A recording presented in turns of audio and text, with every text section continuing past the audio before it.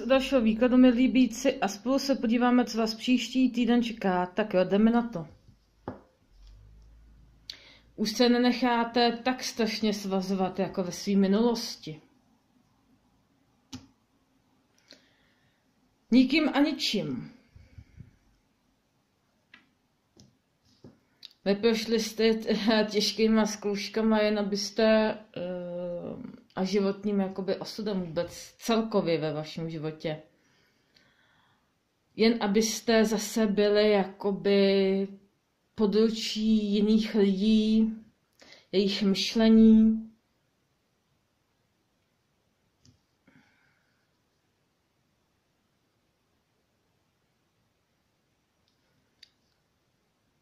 Už jste volný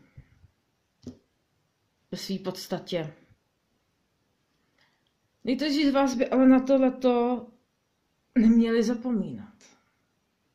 Ještě jeden z vás má takový jakoby pocit, jako, že úplně není tak volný podle svých představ a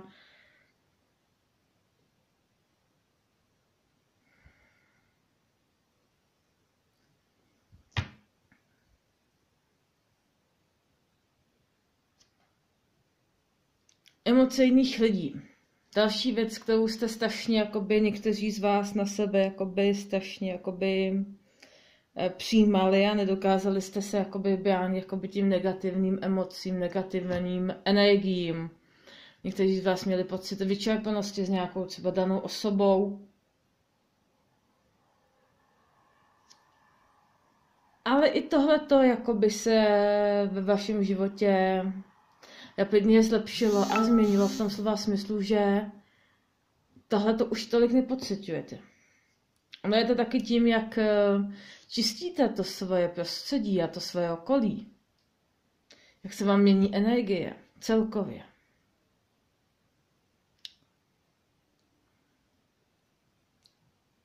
Ale ještě byste měli trošku zapracovat na tom, abyste se vy měli dostatečně opravdu, opravdu rádi. Taková ta sebeláska, ono to zní zní jakoby tak jako povýšeně nadneseně egoistický, že jo, ale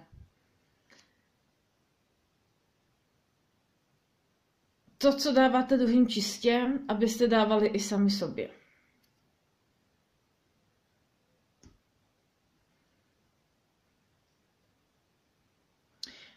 Jednomu z vás eh, v práci se eh, vyřeší nějaký,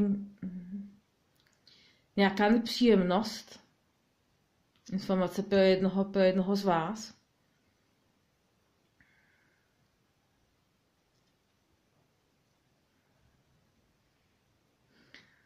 Přichází vám tam jakoby i člověk do, do vašeho života, který jakoby je schopný vám opravdu v nějakých eh, záležitostech eh, pomoci.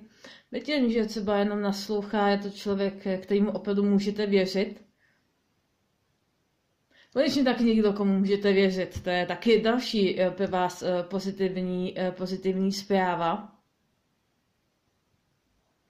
Přináší do vašeho života i takovou tu svoji radost a uzemění, který vám některým chybí. Uzemnit se ještě v těch energiích. Někteří jakoby uh, ještě v těch energiích jakoby lítají a potom jim tam ještě trošku hapijou ty emoce. Ale to se tady ten týden jakoby všechno doladí a vyladí, takže toho se nemusíte bát.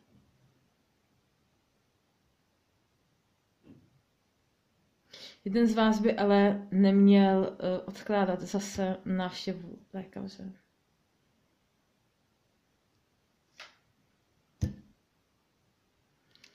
Ale uh, je to ten zdravotní problém je dlouhodobýho rázu, už je tady několik let, cítím u jednoho z vás a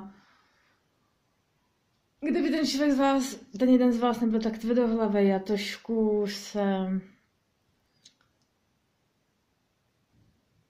usměrnil v nějakých věcech, tak by to možná bylo trošku, trošku lepší.